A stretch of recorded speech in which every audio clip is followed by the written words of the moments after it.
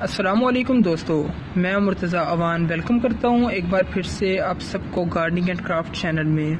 دوستو، انگلش کا مشہور محاورہ ہے کہ excess of everything can cause problem یعنی کسی بھی چیز کا زیادہ ہونا نقصان دہ ثابت ہو سکتا ہے۔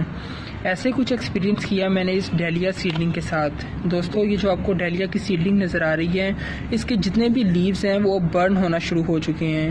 اس کے لیوز کے اوپر برننگ افیکٹ بہت زیادہ واضح ہے اور اس کی سائڈ برانچز بھی نہیں نکل رہی۔ اور ساتھ ساتھ اس کی گروتھ بھی بہت سلو ہے۔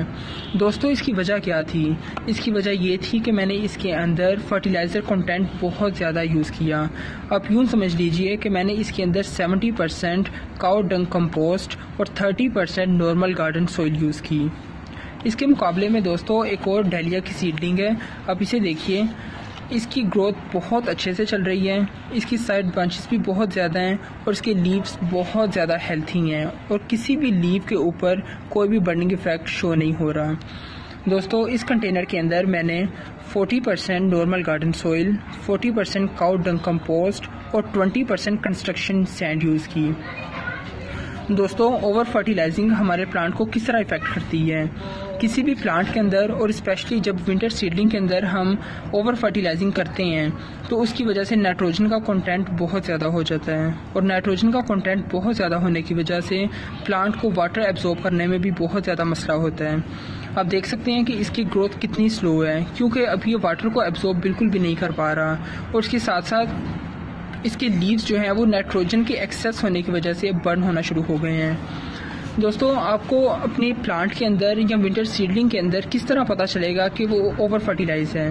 اس کی ایک بڑی نشانی یہ ہے کہ جب بھی آپ اپنے پوٹ کے اندر دیکھیں تو اس کے اندر آپ کو کلیئرلی اپنے فرٹیلائزر کے پیسز نظر آئیں گے۔ اب دیکھیں، اس کے اندر مجھے ایزیلی جو ہے وہ کاؤ ڈنگ کمپوسٹ کے جو ہے چھوٹے چھوٹے پیسز نظر آ رہے ہیں سوئل کے ساتھ ساتھ۔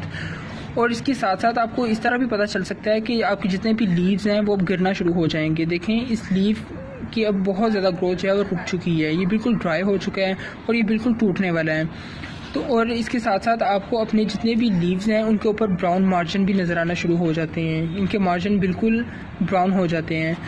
دوستو، اپنی کسی بھی ونٹر سیڈلنگ کو اوور فرٹیلائزنگ سے بچانے کے لیے ایک بڑا سلوشن یہ ہے کہ آپ اس کے اندر سے جتنے بھی آپ کو پیسز نظر آ رہے ہیں فرٹیلائزر کے، وہ آپ سب ریموو کر دیں۔ آپ اوپر سے ساری سرفیس لیئر کو ریموو کر دیں اور ایک نئی سوئل آپ جو ہے اس کے اوپر ایڈ کر دیں جس کے اندر کوئی بھی فرٹیلائزر کا کانٹیکٹ نہ ہو۔ اس کا دوسرا سلوشن یہ ہے کہ آپ اپنے جو اولڈر لیوز ہیں جو کہ برن ہونا شروع ہو گئے ہیں، آپ انہیں پنچ آف کر دیں۔ آپ اپنے لیوز کو جو کہ فال ہو رہے تھے، آپ اس طرح اتار سکتے ہیں۔ ٹھیک ہے؟ اور اس کی جو سب سے بڑا سلوشن ہے وہ یہ کہ آپ اس کو ریپورٹ کر دیں۔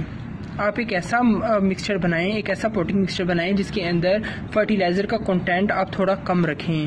یعنی آپ یوں کر سکتے ہیں کہ آپ fifty percent normal cotton soil ten percent construction sand اور forty percent cow dung compost add کر کے آپ ایک اچھا سا پوٹنگ مکسچر بنائیں ٹھیک ہے اور آپ کا جتنا بھی پوٹ ہے چاہے وہ آپ پلاسٹک پوٹ یوز کرتے ہیں یا آپ مٹی کا پوٹ یوز کرتے ہیں وہ بہت زیادہ ویل ڈرین ہونا چاہیے اس کا جو ڈرینیج ہول ہے وہ بھی آپ نیچے سے اوپن رکھیں دوستو جب آپ اس ونٹر سیڈلنگ کو ری پوٹ کر دیں گے تو یہ کچھ ہی دنوں میں اپنی پھر سے بہتر گروتھ شروع کر دے گا کیونکہ میرے پاس ڈیلیا کی سیڈنگ بہت زیادہ ہے، میں نے بہت زیادہ پلانٹ آلریڈی بنائے ہوئے ہیں، اس لیے کو ابھی ریپورٹ نہیں کروں گا۔